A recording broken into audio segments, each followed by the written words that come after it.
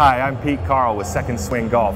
We're down here at the Orlando PGA Merchandise Show, and I have the pleasure of talking with Kenton Ferguson, Vice President for U.S. Distributions for Honma Golf.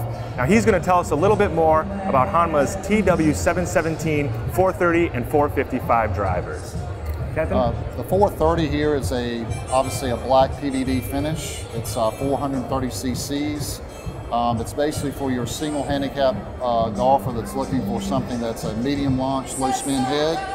then you have the 455, which is basically a different head in the sense that's got a dual fission uh, fusion uh, face.